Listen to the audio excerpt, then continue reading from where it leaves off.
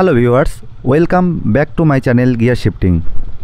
Gear shifting চ্যানেলের আরেকটি নতুন ব্লগে আপনাদেরকে স্বাগত।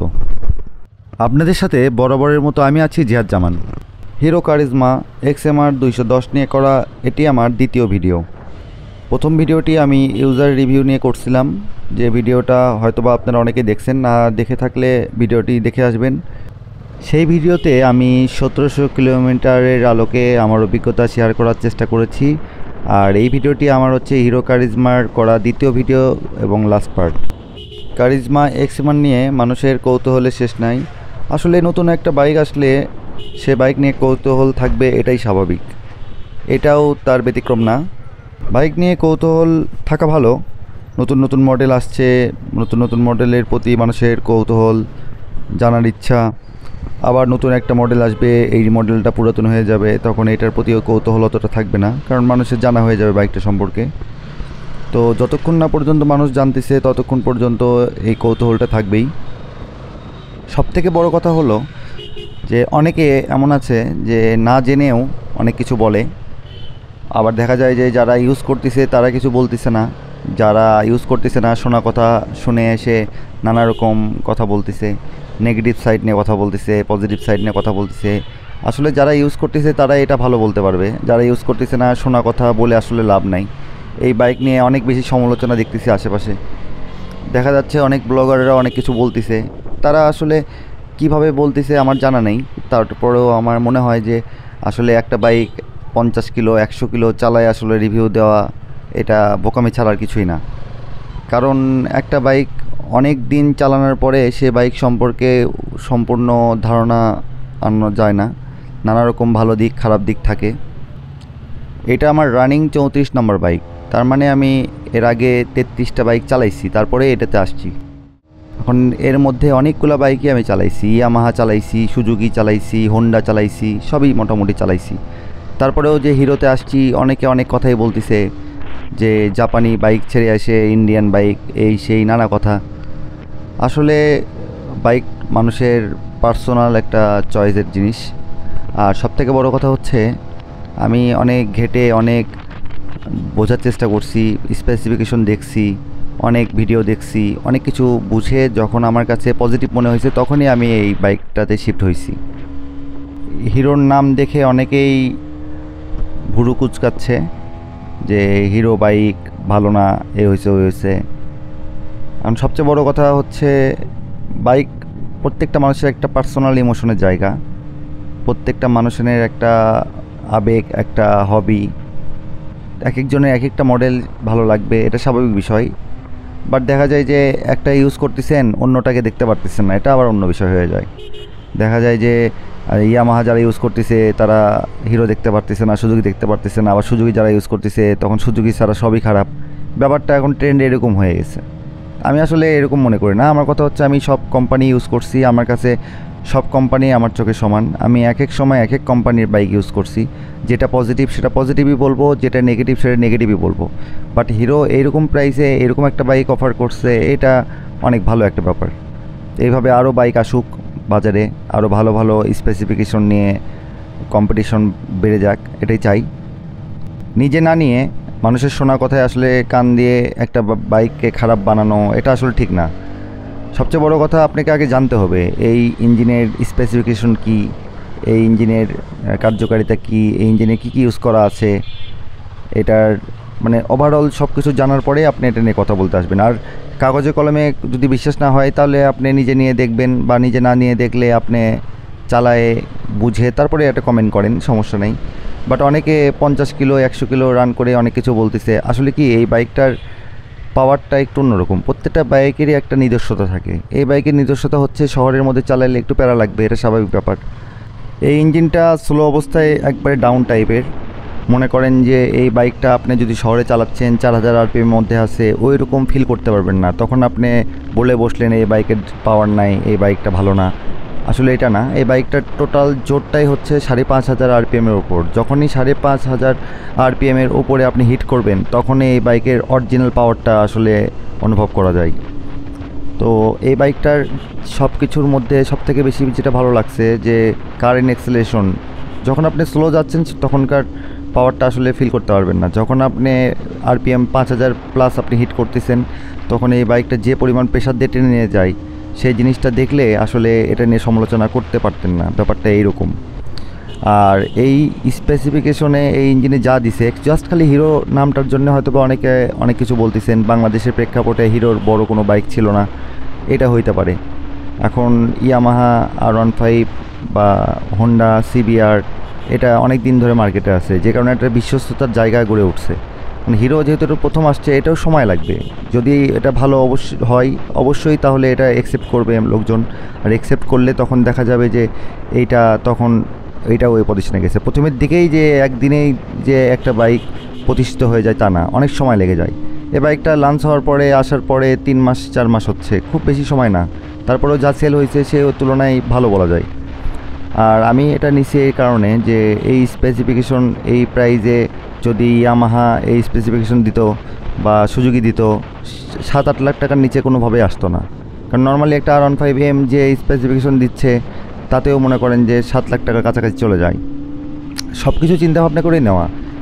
আর ডিওএসসি ইঞ্জিন স্লিপার ক্লাচ তারপরে ফোর ভালো বিএচপি টর্ক সব কিছু বিবেচনা করেই বেস্ট অপশন এটা হতে পারে।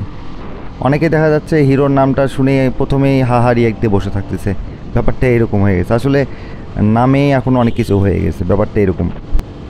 কারা এই বাইকটি কিনবেন আর কারা এই বাইকটি কিনবেন না? এই প্রশ্নটার উত্তর যদি চান, তাহলে আমি বলব যে আপনার যদি হাইট ঠিক থাকে, এই ওয়েট ব্যালেন্স করতে পারেন, এই বাইকের উচ্চতা আপনি মানে লোড নিতে পারেন, ওই উচ্চতা অনুযায়ী জ্যাম ট্যামে আপনি কমফোর্টেবলি রাইড করতে পারেন, তাহলে আপনার জন্য এই বাইকটা আর স্পেসিফিকেশন যা আছে, সেই স্পেসিফিকেশন যদি আপনার ভালো লাগে আর হিরো কোম্পানির নামের সাথে যদি আপনার কোনো ইস্যু না থাকে, তাহলে ঠিক আছে। আবার আপনি রিসেল ভ্যালু যদি চান, প্রথমের দিকে রিসেল ভ্যালু আসলে ইয়ামাহা সুযোগের মতো পাবেন না।